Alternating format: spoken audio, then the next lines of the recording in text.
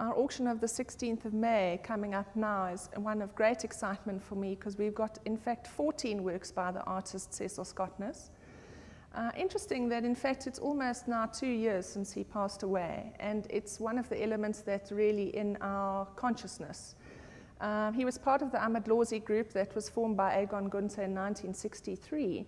And for me, what's of great interest as a, as a person involved in the auction world is, of course, uh, aesthetic, uh, uh, intellectual value versus monetary value. If one looks at the works of Skotnes, we see really a trajectory involving a lot of oil paintings as well as uh, wood blocks and prints. Uh, essentially, we've seen a huge increase in the value system, looking at the record price selling at 1.980 million.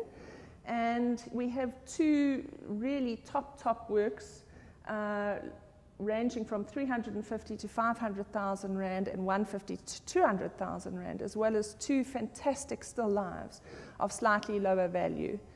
Uh, what we have seen really in the past is a market that hasn't really paid much attention to the Africanist influence which Skotnes brought to South Africa. Uh, I think with the influence of Egon Gunther, we see really a marked interest in this sphere, and that's really, for me, his greatest contribution to South African art.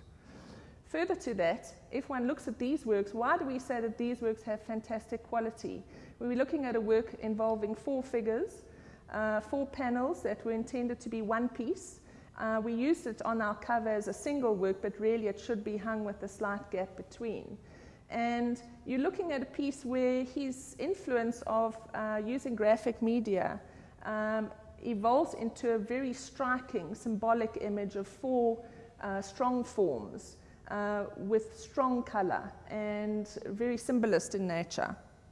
Uh, further to that, uh, what's of great interest is the quality of the work. One sees here work where one has very definite, bold carving as well as a variety of color forms and material pigments that he put onto the piece. And really, in my opinion, a better work would be very difficult to find.